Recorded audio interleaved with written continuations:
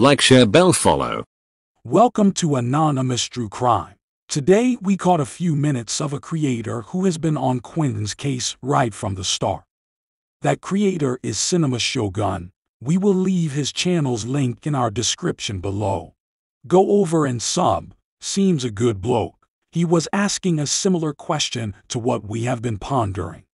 Why has Billie Jo gone from questioning Leilani publicly in her earlier news interviews to actively supporting Leilani? Billie Jo went as far as to publicly post that her daughter was responsible for Quinton's death and that he is in landfill.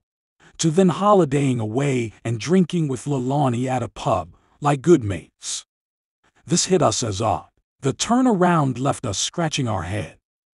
We have explored in prior videos that perhaps Billie was working with the police to get Leilani to talk. Yet as time goes on that appears less likely. Then we got thinking. Billie Jo already has one son in prison for manslaughter. Now potentially her daughter is also going to prison. If she gives up a confession, which we think is unlikely, or if LE find enough to arrest her.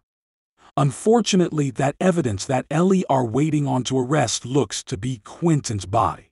Now as we pondered this, and we realized the day Quinton went missing, Leilani was home, Danny allegedly went to work and noted Quinton in the playpen around 5.30 am. If this is true, then the only other adult in the home the morning of Quinton's disappearance is Paul, Leilani's brother, who also currently lives under Billie's roof. Now it appears that police have video surveillance of Leilani dumping Quinton's body in a dumpster. A house sick. Then we question, who had Leilani's other children during this time? This being Leilani's baby and Quinton's older three-year-old brother. Does Paul, Leilani's brother who was in the home that morning, know more than he is saying? Did he not hear anything? Did he not see Leilani leave in the car? Or could he have actively assisted his sister Leilani in the cover-up? It certainly would explain Billie Jo closing rank.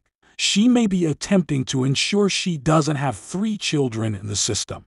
Billie Jo has had her issues with son Paul, attempting priorly in 2019 to also evict him. It appears Paul has had his own demons to fight, at least by his mother's prior statements.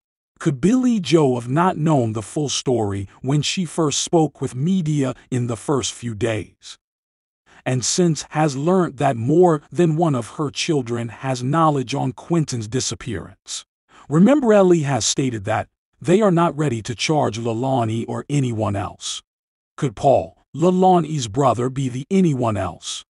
Along with Billie Jo for leaving Quinton in an unsafe environment. Something to ponder, guys. Why do you think Billie has changed her tune? Like, share, bell, follow.